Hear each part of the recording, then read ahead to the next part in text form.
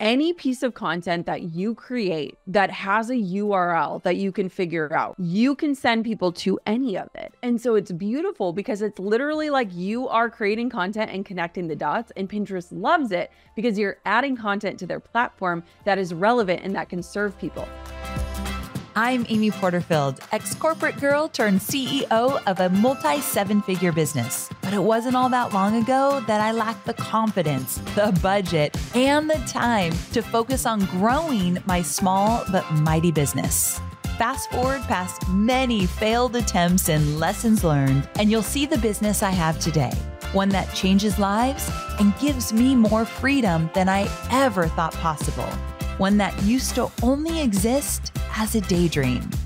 I created the Online Marketing Made Easy podcast to give you simple, actionable, step by step strategies to help you do the same.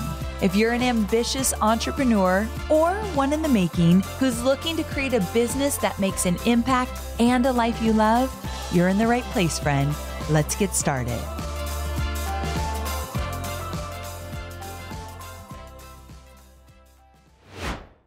Well, hey there, friend. Welcome to another episode of Online Marketing Made Easy. You have definitely joined me for a juicy episode. Whether you clicked on this because of the title or you listen to every episode that I do rain or shine, by the way, thank you for that. Or maybe you just landed here and you're not even sure how you are in for a real treat. Trust me.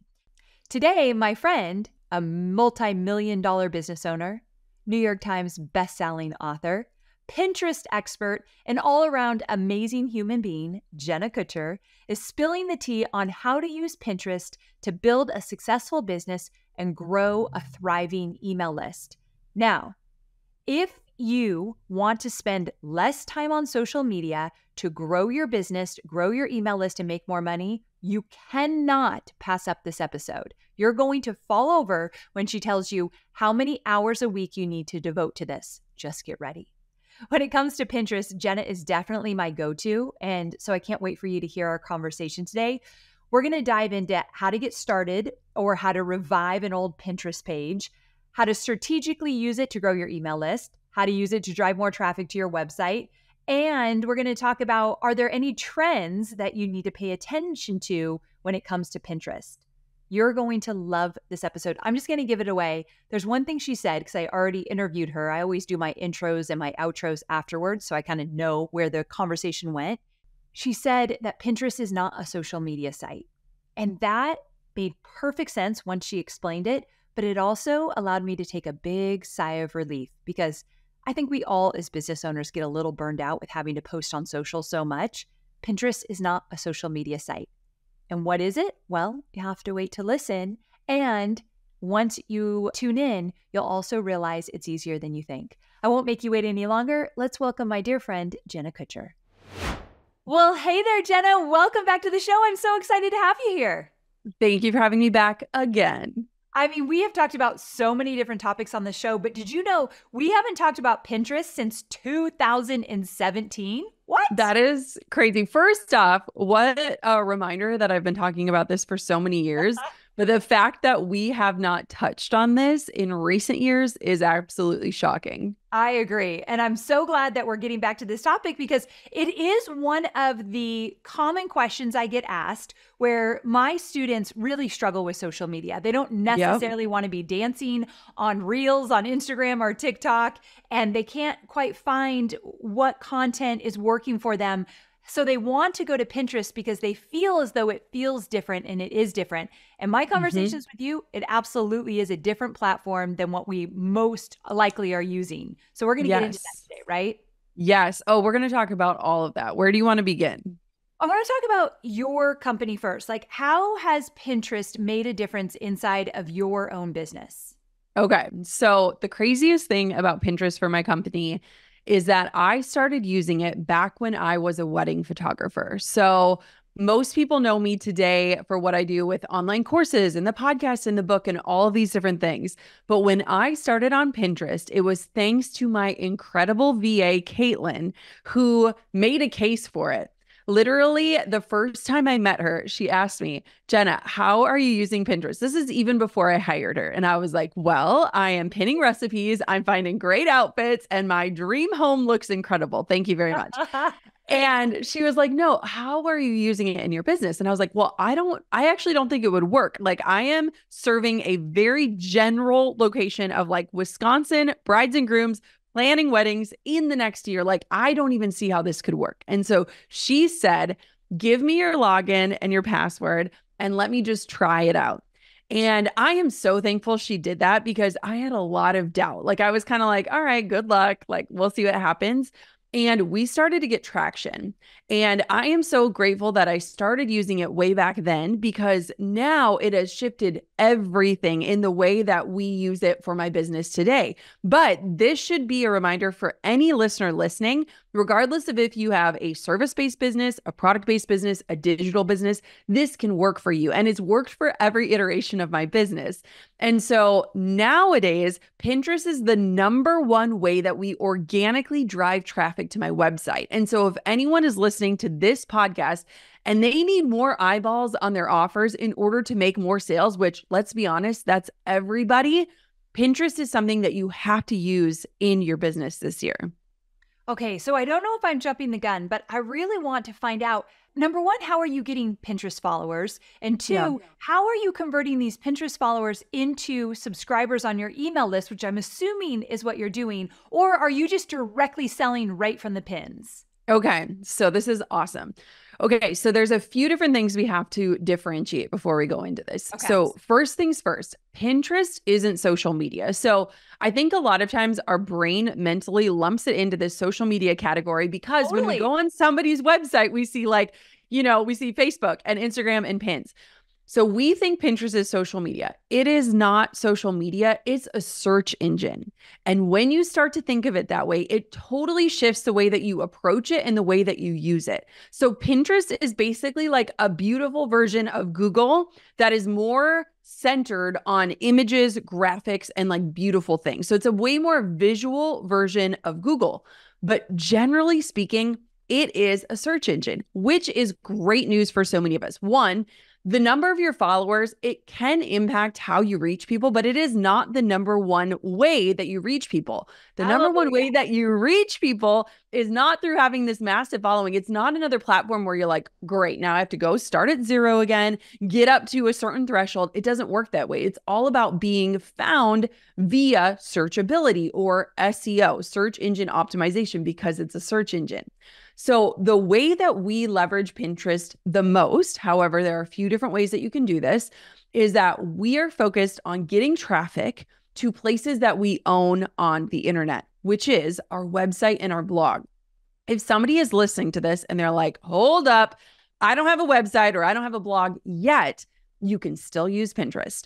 So, the big thing that you want to think about is that since it's a search engine, its goal is to connect people to the relevant content that they're searching for.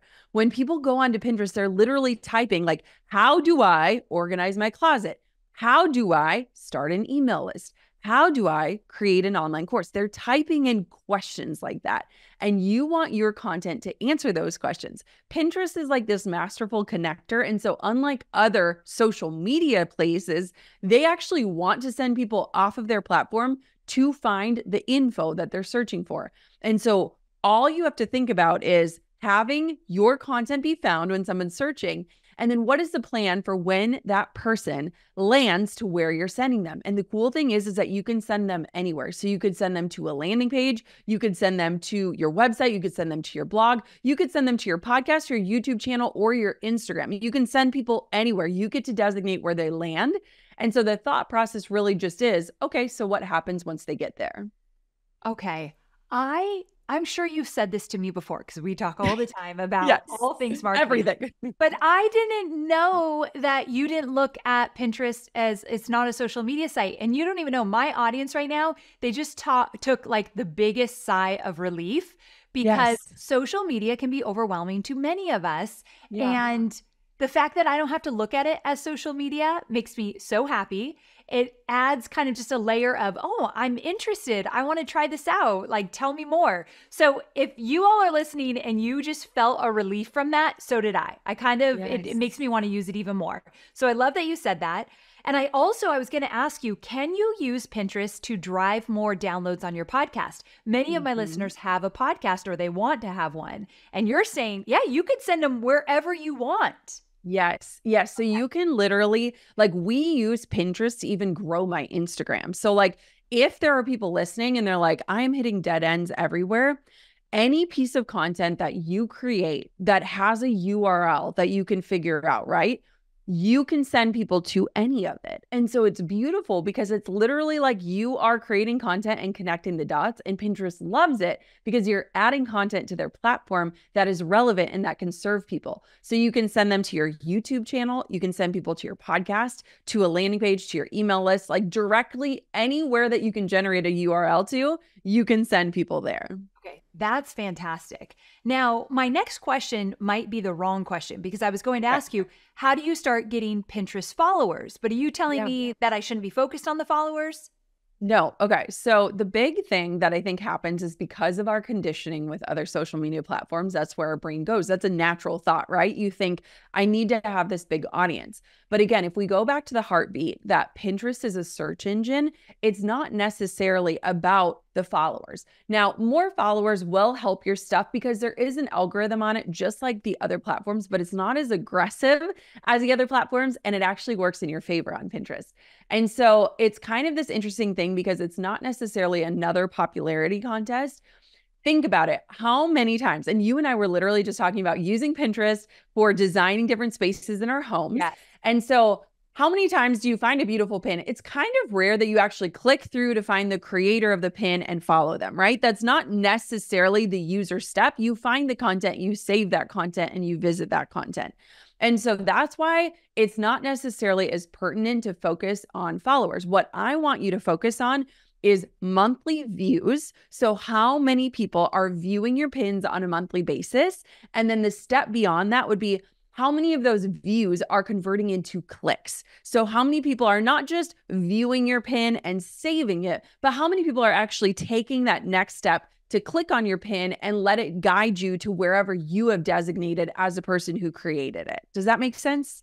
Makes perfect sense, which leads me to the question Can you kind of break down the anatomy of a perfect pin? Because yeah. as you're talking, I'm like, okay, so if I don't have to worry about it getting a bunch of followers, which yep. yet again makes me very happy, Yep. What is the anatomy of a perfect pin to get somebody to do something? And let's talk because you and I both teach list building. Let's yeah. talk about the fact that our listeners want to grow their email list. And yes. let's pretend that you are a coach for women and confidence. It's like a big topic in my audience for some reason. Women Perfect. teaching other women how to find confidence and be their authentic self. We're just going to go there, okay? Because it's a it's a popular topic. What are they pinning to get people to pay attention to go somewhere to sign up for an email list? Okay. So I'm going to give so much good news on this podcast. I feel like I'm just like sprinkling it out. okay. So the one thing that is necessary on Pinterest, and this is actually pretty amazing for all of us, is that in order to stay relevant, quote unquote, on the platform, all you have to do is contribute one pin per day. Okay. okay. One pin per day. That is now, news. This can be scheduled out. So my entire Pinterest strategy takes under an hour per week, and we drive millions of monthly views, and we get thousands upon thousands of people landing on our website because of it. Under one hour a week. Now, the average marketer is spending 20 hours a week on marketing yes. due to recent research. If you could take just one hour and get your number one traffic driver to the place that you've built on the web, like your home on the web, oh my gosh. Okay. So let's go to your example. So, one beautiful thing about Pinterest that is going to, again, just like make this the cherry on top is that it is a wonderful low risk way to split test different things.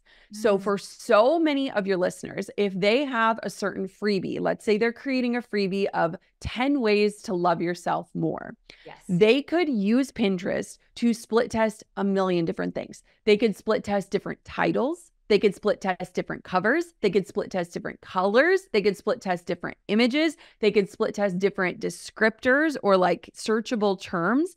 And so, what's beautiful is that you are contributing these graphics. So, literally, all you would do, Amy, is you could upload the cover of your freebie, type in a short description, and put the link of the landing page. That's it. That's all you're doing on Pinterest. That's one pin that you're creating. But what's amazing is for people that are running things like paid ads or thinking about like how can I make sure that this is optimized? Pinterest is the lowest risk way you can test it because you could upload 10 different graphics that all look totally different to Pinterest, point them all to the same place and you could see which one is winning, which one is performing the best before you take things onto other platforms like paid ad strategies. You can save yourself money. And so, what's amazing is when you go onto Pinterest, let's say I am someone searching for that content and I'm typing in, how do you build self confidence? Somebody's freebie is going to pop up literally after your listeners listen to this show. Go onto Pinterest and type in that topic, and you are going to find a plethora of posts and pins that point to something just like we're talking about. Now, when we're thinking of like the anatomy of a perfect pin, you want to make sure that you have a call to action on that graphic. So, what can happen is that a lot of times users on Pinterest are just collecting, right? A lot of us go there to collect ideas, products, things that we want. But if they know that there's another step waiting for them, more information that they're searching for, you can have just like you would have on a Facebook ad, a little button that says like free download or click for more or, you know, get my guide or whatever that is. And so, what I love about Pinterest is that it allows us to test out a ton of different graphics. They can literally all point to the same URL and they're counted as fresh pins. Now, we can talk about the lifespan of a pin because I think that's the fascinating part about this that other platforms can't compete with. But what's beautiful is is if you think about it, most of your audience is on this content creation hamster wheel, right? They're just constantly creating content your audience is sitting on a gold mine of content from either past Instagram posts, emails they sent to their list, freebies, blogs, podcast episodes, YouTube, like all of that is content that can be uploaded and shared onto Pinterest. And so if you just uploaded one pin per day, you could massively change the amount of eyeballs getting onto your offers and then get those eyeballs converted onto your email list where you can serve them and then eventually sell to them.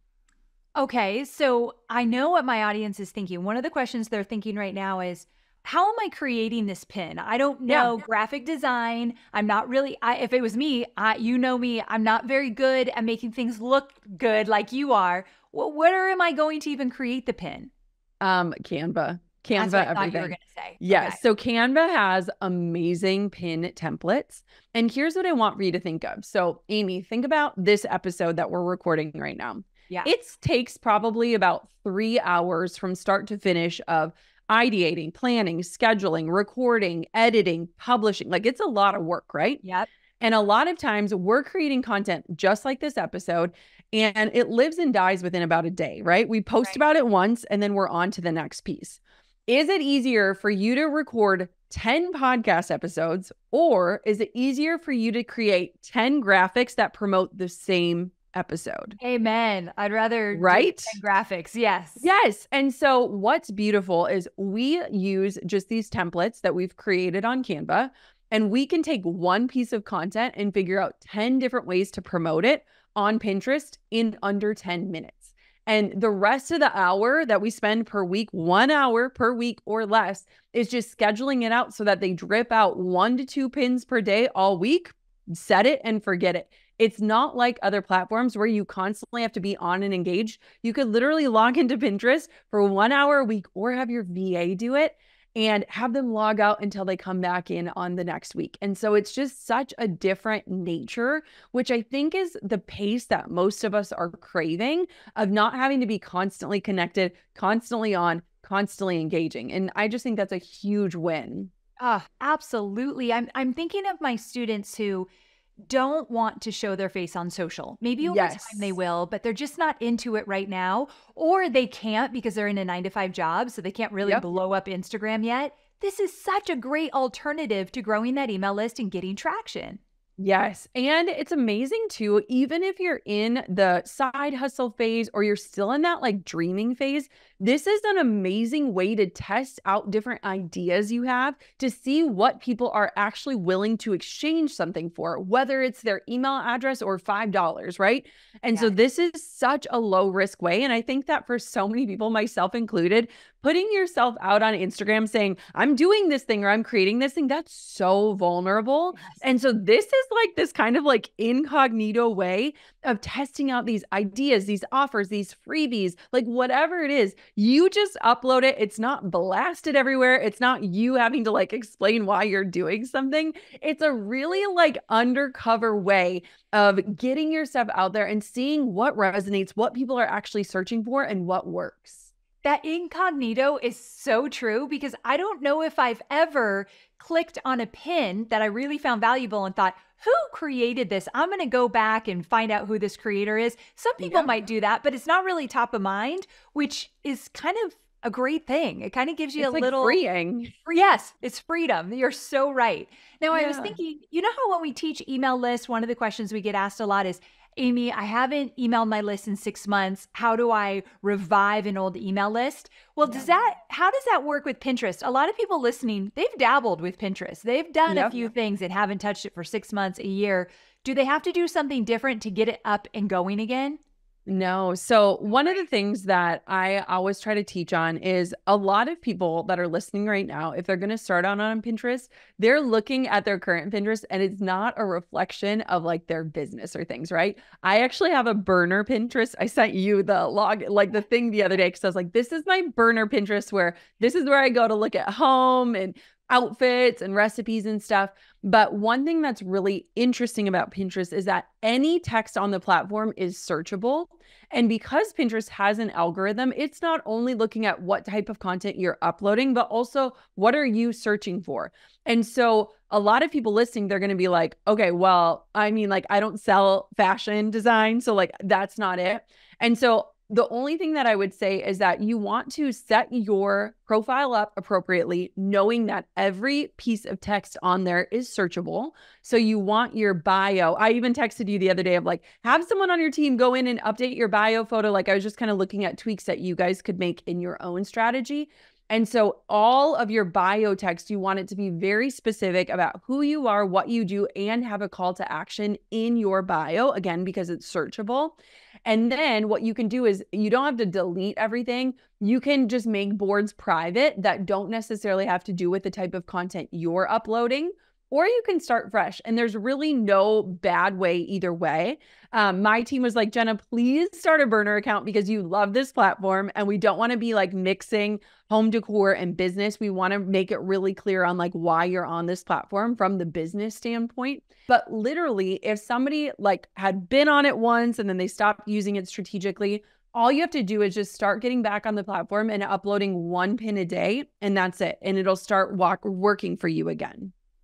I created a burner Instagram with Hobie's email account. When you told me that, when I started to redesign our home, I thought, oh, I don't want everything to be about home design in here. Yes. So I love that tip. Now, okay, so if someone's listening, I am curious about how much of a caption, how much is the caption important? Uh, you've got this graphic, let's say yeah. 10 ways to love yourself. Click here for a cheat sheet or a checklist or whatever. But how about that caption? Is it important? Yes. So, okay. again, any text on Pinterest is searchable. So, it's going to be looking at the text in your graphic via the algorithm, but really as you type in the pin description, that's where you really want to use keywords. Now, okay. there are, it's very similar to anything you would do for your blog, for your website, even an Instagram caption where you're getting it to the point and you're really kind of driving home this is what this is. And so all text is searchable and you want to just really think through okay, what is the description? So let's say for that free guide, 10 ways to love yourself more, you could type in, you know, looking for self confidence this free guide will walk you through 10 easy ways to fall in love with yourself, appreciate your body, and come back home to yourself or something like that. So, a description that would hit on other ways people might be searching one of the tools that I love to use on Pinterest is the guided search feature. So you start typing in how to, and you could type in love or self and see what populates because the questions that are going to populate are the things that are the most searched for, very similar to Google. And so that's going to guide you in other keywords that you might want to consider that are kind of those fringe keywords that maybe you wouldn't have used, but other people might be using to search for the content that you're doing. Now, with things like ChatGPT, it's really easy to get amazing optimized pin descriptions so that you could say, you know, I have a freebie about this. I need, you know, X amount of words to describe what this is. And it can really optimize that description for you as well in terms of searchability. You don't want to keyword stuff where you're literally just typing in, you know, self confidence, self love, self worth. You want it to be a readable sentence so that the user is in mind. It's not just about getting it seen, but having them click. And then, just like other social media platforms, you want to use a call to action, right? So, click the photo to see more, or I've created a free guide that is waiting for you. And so, again, it's guiding people not just to save your pin, which is still very valuable, but to actually click from the pin to land onto wherever you're designating them to go. So that got me thinking. You're saying you just need an hour a week. Did I hear you right? Yes. Okay, okay. let's break this down. Okay, let's talk about that. So, recent research says 20 hours a week are being spent on marketing, which is kind of crazy. It. Yeah. And you think I'm crazy because I'm the person that is literally like creating every single reel and like sitting there like editing every little video. It can easily take me one hour to create one reel. Amen. Now, on Instagram, you have about three to five hours to get that post to like pop off, yes. or else it's just going to die, right? It lives and dies. It's like 24 to 48 hours max on Instagram for your post to actually stay relevant and drive any results. Now, that doesn't mean we don't use Instagram. We do, we use it and love it. The average lifespan of one pin. So, Amy, if you upload one pin today, its average lifespan is six months. That's crazy good. That's I never crazy. thought of it that way. And again, it took you a couple minutes to make one pin, right? We're talking about a Canva template that makes a graphic. You can make 10 pins in about 10 minutes using templates, and each singular pin has a lifespan on average of six months. I still have pins from years ago that are driving traffic to my website, and I haven't done anything to them. So when we think about ROI, and I am in such a crazy season of my life with two little kids, I literally was taking one to urgent care this morning and like texting Amy, like, this is wild. And I'm still doing this company. In this season of life, any amount of time that I'm spending on my business, I absolutely want it to be worth it. And I want to be able to tie it to a result that isn't necessarily something that is such a quick hit. You know, social media is such a beautiful hit of dopamine that so many of us rely on. But how many times do we create something and we're so disappointed that it didn't hit or it didn't land, or worse, that we can't connect it to any tangible result?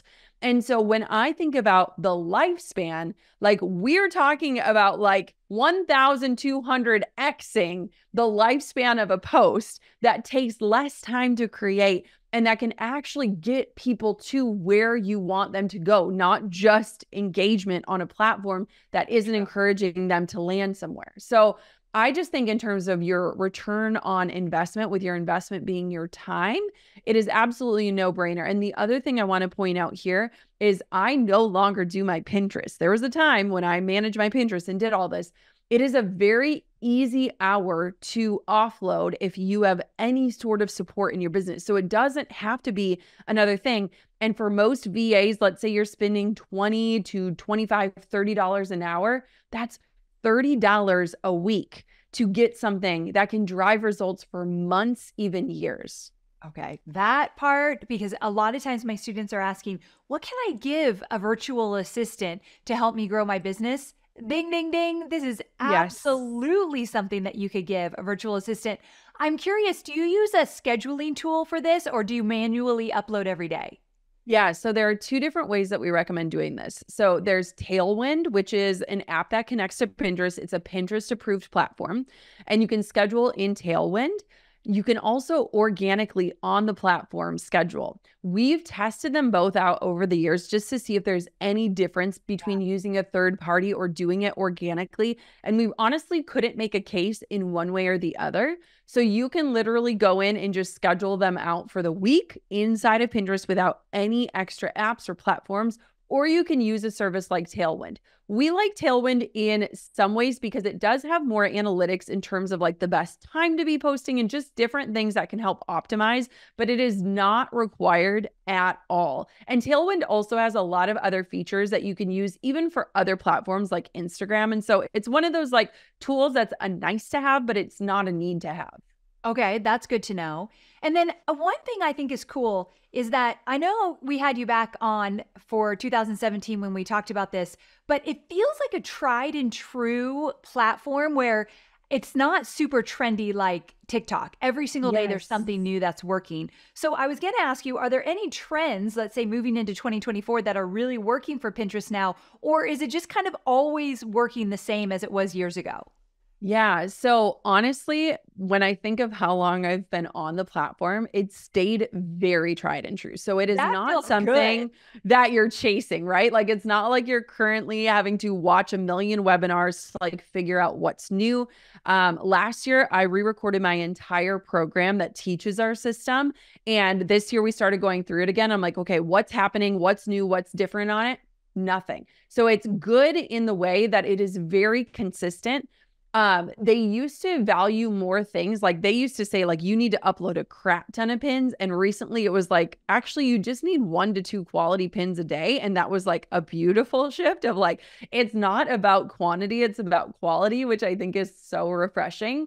Um and so again yeah it's not something that takes a million hours to learn. You can learn the entire like platform and how to use it in a couple hours and I think that that is just such a breath of fresh air. Whereas on Instagram and Twitter, like every week, I'm like, okay, what do I need to be doing this week? Okay, what's what's working next week? And it's like you can't even plan in advance because you don't know what's going to be working two weeks from now.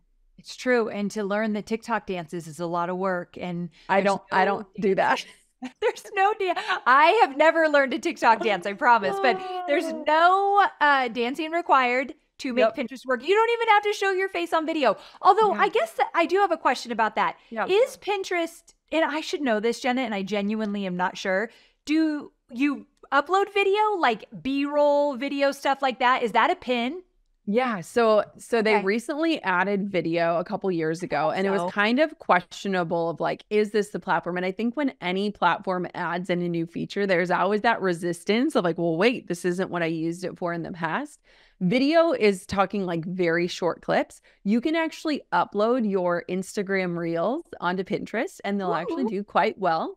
And so it is a feature. It's not a necessity by any means. It's not something that you have to do to find success on it, but it is something that we are seeing that is working quite well. And so, yeah, it could be like a short, even just like panning your fingers on a keyboard if you don't want to show your face or things like that. And again, we create all of our pin graphics inside of Canva. So you could bring in any sort of video, you could overlay it with like the title of your freebie or your podcast episode or whatever that is um, and just make a beautiful pin. And then the other thing that we always do too, and this would be relevant for you, Amy, um, but also for your audience, is when you're creating all of your Facebook ad graphics, all you have to do inside of Canva is just resize to orientate for pins and you can use all that content. So when you're creating graphics for your podcast to live on your show notes, that's a pin. You're already creating it. And so I think a lot of people don't recognize that they're sitting on a gold mine of already created content that literally just needs to be resized in order to be optimized for the platform. You're already writing an intro for the show. The intro could be the pin description. It's literally not adding much more work. It's just adding a different level of strategy to how you're going into the creation process in the first place. I have a brand new social media gal that's starting soon. As you know, yeah. uh, Stacy, who's been with me for many, many years, has built her own business and she's going off to do big things. So we're hiring a new one. I feel like this should just be an hour a day. I mean, an hour a week. This is what we yes. want. Now, like, make it part of their job from the get go. Yes. And it will just become a habit because, really, just like everything else, it has to become a habit, right? You have to be intentional with this. Anybody can do an hour a week. That feels yeah. so doable. Yes. Okay. So people are listening right now and they're like, okay, I'm intrigued. I'm interested. You have piqued my interest, but I'm not really sure like what to do next. You actually have a masterclass totally free that you're going to Yep. give lots of examples, case studies, show how you use it, show the pins, show the captions, like really bring it to life. I recommend everybody listening right now just get on the free masterclass to see this really come to life. It's amyporterfield.com forward slash pin. That's easy. amyporterfield.com forward slash pin. That's where you want to go. But uh, Jenna, tell them what they can learn in this free masterclass. Yes. Okay. So please come to this masterclass if any of this resonated today, because you're going to see the visual walkthrough of how to do what I just talked about. So, we are teaching how to 20x your traffic in under an hour a week without paid ads. And what I want to help show you is how easy it is to create pins. So, I will literally walk you through how we take one piece of content. Again, it can be any type of content that you're creating, create 10 pins for it, and how we optimize those and use those to do the things we talked about in this episode, like split test, see what's working, see what people are clicking on, and drive that traffic. And then I will teach you how to know what to do with that traffic to make the traffic valuable. Traffic alone is awesome, right? It's getting your stuff in front of people, but I want to show you how to think through the journey for somebody once they land where you're sending them. What happens and how do you make that super valuable so that these pins that are living on long beyond your Instagram post or your Facebook post are doing work for you while you rest? And so the training is awesome. We've led so many people through it. We've turned people into Pinterest believers. And if you're using the platform for pleasure, let me show you how to use it strategically. It's going to be the best 20 extra traffic in under an hour a week without paying for ads. Come join me for this webinar. And I just want all of you to know if you're looking to grow your email list, you want to get on this masterclass. If you're looking to sell more digital courses, you want to get on this masterclass. If you do live launching, evergreen launching, you want to get on this masterclass. And Jenna and I have very similar styles in terms of teaching and the content we share. So if you like Yeah. anything of mine, you're absolutely going to devour everything that Jenna's going to share. So amyporterfield.com forward slash pin. Get on this free masterclass. You do not want to miss it. And I cannot wait to hear about all of your pin magic that's going to happen. Jenna, I love you to the moon and back. Thanks for being my friend in everything that we do. And also, thanks for coming on the podcast. Thanks for having me back. I'm sure I'll see you guys soon. See you soon. You know, it's kind of funny because I personally use Pinterest to search for a lot of things. Hobie and I bought 70 acres of land in a place kind of near Franklin, Tennessee. It's called Leiper's Fork. And one day we want to build a dream home there. So even though we're not doing it tomorrow, we got to save up some money and we want some time to figure this out. I'm already creating my dream home Pinterest board.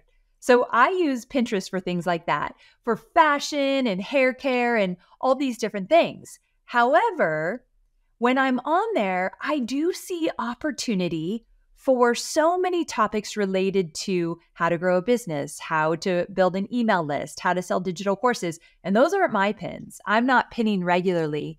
And I have to admit something. Back in 2017, when Jenna and I talked about this, I had every intention of getting on it and I didn't. And I don't know if you've been like this for other things in your business before. You're like all excited, yes, I want to do that. And then you get distracted. Well, I'm not going to let that happen this time because when Jenna and I got off of our interview, we talked a little bit longer afterwards. And I realized it's just a habit. One hour a week. That is a habit. And I don't even need to do it. I have a team that can help me. But if I had no team, I would still absolutely see the value of devoting one hour a week. And because ad prices have gotten so expensive, because it's so very noisy on Instagram and TikTok and all the other social media channels, this feels different and refreshing. So, as my new social media gal comes on board, we're just going to make it an hour a week. That's what we do. It's part of our routine, it's a habit. And I think it can be really easy, especially with Canva. So, I'm going to take this seriously. I'm going to update my bio right now. I'm going to update my picture. It's very, very old. So if you're on Pinterest, you might just see some of my pins coming down the pipeline. I love this episode. I loved how easy it feels, how doable it feels, and how economical it is to grow your email list and to grow your business, do not sleep on this masterclass. Jenna is an expert at teaching in a way that makes perfect sense and feels very doable, like you can implement right away. And it's free. amyporterfield.com forward slash pin. That's where you go to sign up for the free masterclass. Show up live. You'll get a lot more value out of it when you show up live. It's an hour of your week. That could be your hour of Pinterest this coming week. All right, my friends, I cannot wait for you to dive in and make sure you let me know how your pins are going, and I'll keep you updated on mine as well amyporterfield.com forward slash pin. I'll see you there.